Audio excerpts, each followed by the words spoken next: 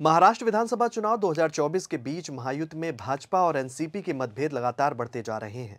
बता दें कि भाजपा नेताओं के विरोध के बावजूद दागी नवाब मलिक को मनखुर्द शिवाजी नगर सीट से टिकट देने, उसका बचाव करने और बटेंगे तो कटेंगे नारे का विरोध और मुंबई में प्रधानमंत्री नरेंद्र मोदी की रैली में जिशान सिद्दीकी समेत एनसीपी के कई उम्मीदवारों की दूरी से ये बात खुलकर सामने आ गई है। नमस्कार, आप देख रहे हैं 4 पीएम और मैं हूँ आपके साथ में शोभित पाठक। मतभेद ने बीजेपी के सारे समीकरण को महाराष्ट्र में बिगाड़ कर रख दिया है। हाल ही में अब देवेंद्र फडणवीस ने भी ये बात मान ली है कि कई मुद्दों पर अजीत पवार से मतभेद हैं।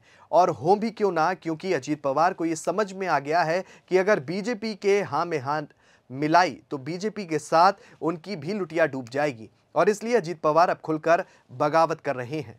दूसरी ओर भाजपा नेता और महाराष्ट्र के उप मुख्यमंत्री देवेंद्र फडणवीस अब खुलकर ताल ठोक रहे हैं। उन्होंने अजीत पवार और उनकी एनसीपी के साथ मतभेदों की बात को सार्वजनिक तौर पर मान लिया है।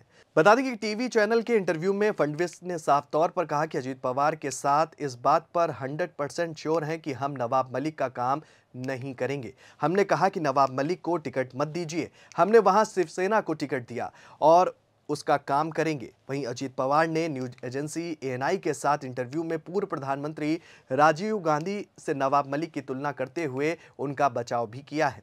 कुख्यात आतंकी और भगोड़े दाऊद इब्राहिम के गुर्गों के साथ करीबी और मनी लॉन्ड्रिंग के मामले में जेल जा चुके नवाब मलिक को टिकट दिए जाने पर एनसीपी प्रमुख ने सफ़ाई दी है। उन्होंने कहा कि आरोप लगाना आसान है, लेकिन उन्हें अदालत में साबित किया जाना चाहिए। अभी ये सिर्फ़ आरोप है।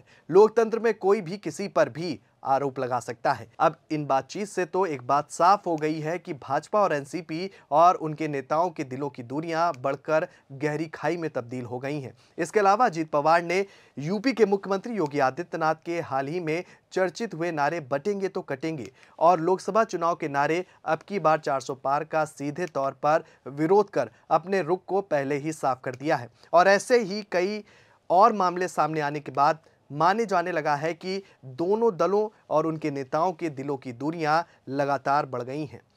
चुनाव के पहले टिकट के लिए मारामारी कर रहे महायुद्ध के दोनों साथी नतीजे आने के बाद उसके हिसाब से फैसला भी ले सकते हैं। क्योंकि इस बार अजीत पवार ने एनसीपी, यानी कि शरद पवार और बारामती सीट समेत परिवार के लिए प्रेम का भी सार्वजनिक प्रदर्शन किया। रैलियों में आँसू बहाकर इमोशनल भी हुए और अब साफ़ लगने लगा है कि अजीत पवार को अपनी गलती का एहसास हो गया है। इसलिए वो अभी से बगावत के मूड में खुलकर नज़र आ रहे हैं। बता दें कि बीजेपी अब समझ गई है कि अब अजीत दादा रुकने वाले नहीं हैं और इसलिए देवेंद्र फडणवीस को जवाब देने के लिए आगे कर दिया है। हाल ही में देवेंद्र फडणवीस ने लोकसभा चुनाव में महाराष्ट्र में अजीत पवार के भाजपा के नारे के मिसफायर होने वाली बात को साफ़ तौर पर खारिज कर दिया। फडणवीस ने कहा कि लोकसभा चुनाव में महायुद्ध के प्रदर्शन खराब होने का पहला कारण विपक्ष की ओर से संविधान बदल जाएगा और आरक्षण जाएगा जैसे फेक नैरेटिव फैलाए जाने और दूसरा कारण उन्होंने कांग्रेस का महाराष्ट्र में वोट जिहाद के इस्तेमाल को बताया है। उन्होंने कहा कि हमें कई सीटों पर अल्पसंख्यक वोटों के कारण हारना पड़ा, क्योंकि कई सीटों पर धार्मिक नेताओं ने प्रचार किया। धर्मस्थल से अपीलें की गईं।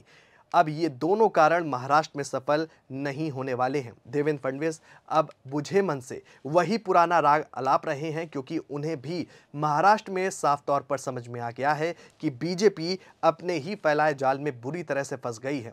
फडणवीस ने योगी आदित्यनाथ के नारे बटेंगे तो कटेंगे। और पीएम मोदी के नारे एक हैं तो सेफ़ है को सही बताते हुए अजीत पवार को करारा जवाब भी दिया। उन्होंने कहा कि योगी जी ने जो कहा, बटेंगे तो कटेंगे, ये तो भारत का इतिहास रहा है। भारत जब भी जातियों, प्रांतों और भाषाओं में बटा है तब तब भारत गुलामी में गया है। और इसलिए जो बात कही गई कि बटेंगे तो कटेंगे, वो बिल्कुल सही है। लेकिन उससे भी ज़्यादा मैं मानता हूँ कि जो मंत्र मोदी जी ने दिया कि एक है तो सेफ़ है, वो बहुत अहम मंत्र है। अजीत पवार पर बोलते हुए फडणवीस ने कहा कि वे अलग विचारों से आए हैं। कई बार मुझे लगता है कि जिन विचारों से वो आए हैं, उन विचारों ने उनके दिमाग पर कब्जा करके रखा है। इसके साथ ही उन्होंने एक और अहम बात कही कि हमारी लड़ाई मुख्य रूप से कांग्रेस के खिलाफ है। महाराष्ट्र में सबसे ज़्यादा आमने सामने भाजपा और कांग्रेस ही है। महाराष्ट्र में लगभग 12 प्रतिशत मुस्लिम वोट बैंक को भाजपा विरोधी ही मानता रहा है।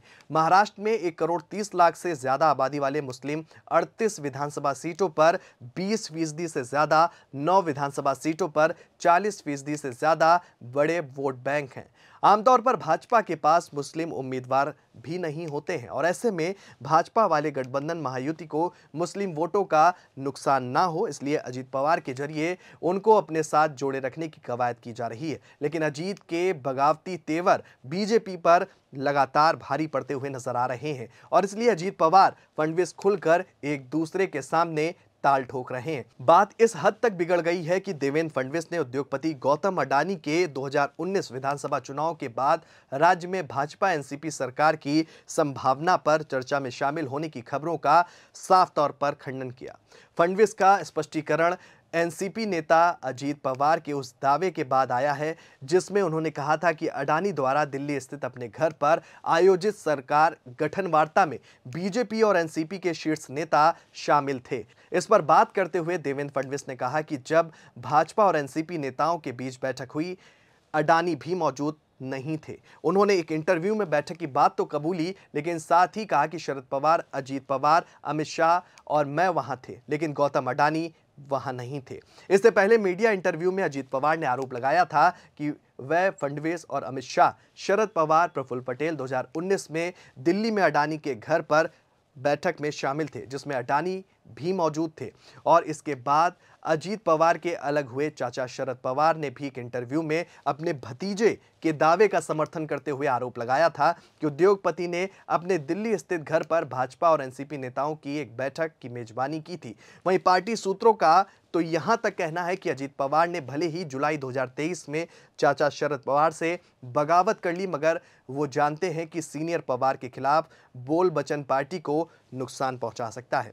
आपको ये भी बता दें कि 2019 के चुनाव में शरद पवार ने सतारा की एक सभा में भीगते हुए भाषण दिया। इसके बाद एनसीपी को चौवन सीटों पर जीत मिली। बीजेपी के हाथ से बाजी फिसल गई थी। अजीत पवार इस घटना को अभी तक नहीं भूले हैं। बगावत करने वाले इकतालीस विधायक भी शरद का सम्मान करते हैं। राज्यसभा सांसद प्रफुल्ल पटेल ने भी कहा था कि हम शरद पवार का बहुत सम्मान करते हैं। निजी तौर पर मैं उनके साथ 35 साल से जुड़ा हुआ हूँ। 2024 के विधानसभा चुनाव में अजीत पवार ने हर विधायक को हिदायत दे रखी है कि कोई शरद पवार के खिलाफ बयानबाजी तक नहीं करेगा। साथ ही एनसीपी नेता यह भी सुनिश्चित कर रहे हैं कि तिरपन विधानसभा सीटों पर बीजेपी के नेता शरद पवार पर व्यक्तिगत हमले नहीं करें। पार्टी के नेताओं का कहना है कि एनसीपी अपने विकास एजेंडे पर ध्यान फोकस बनाए रखना चाहती है। उन्होंने कुछ दिन पहले आदित्यनाथ की टिप्पणी की आलोचना करते हुए कहा था कि छत्रपति शिवाजी महाराज और ज्योतिबा फूले के पद चिन्हों पर चलने वाले महाराष्ट्र की तुलना अन्य राज्यों से नहीं की जा सकती है। शिवाजी महाराज ने सभी समुदाय और वर्गों को एकजुट किया है।